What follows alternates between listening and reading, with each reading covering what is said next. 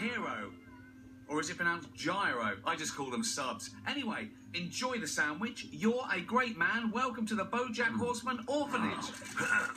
or as we call it, the Bojack Horsemanage. You cannot call it that. A, because I am not a great man. And B, because that is a really stupid name.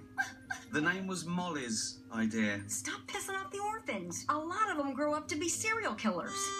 Bojack's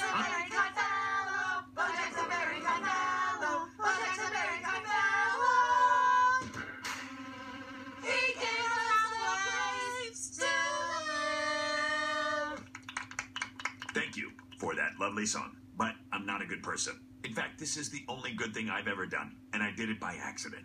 And it just goes to show you, life is just.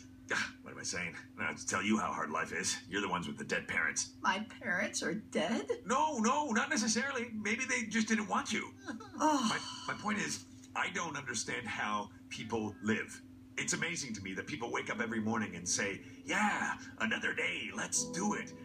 How do people do it? I don't know how.